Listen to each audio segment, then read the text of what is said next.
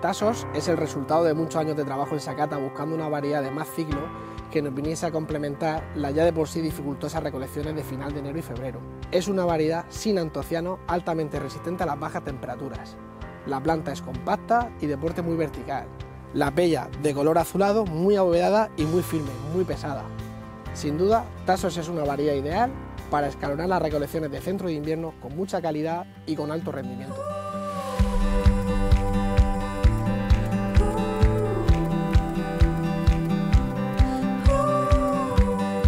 Tasos es una variedad para trasplantar en octubre en Murcia. Tiene un ciclo de 110 días y también hay que destacar la fácil recolección. En dos pases nos la llevamos. Tasos es una variedad que recomendamos ponerla en mesa y nunca en llano.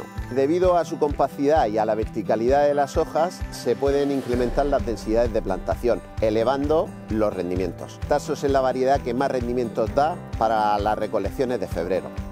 Tasos para el Valle del Ebro los recomendamos para los trasplantes de septiembre, para alargar la campaña de recolección de invierno con mucha calidad, con un elevado rendimiento y sobre todo un punto añadido que tiene es el alto rendimiento en fábrica, en el procesado.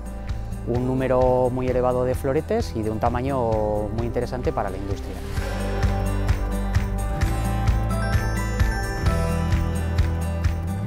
Tasos, la apuesta de Sacata para el centro del invierno.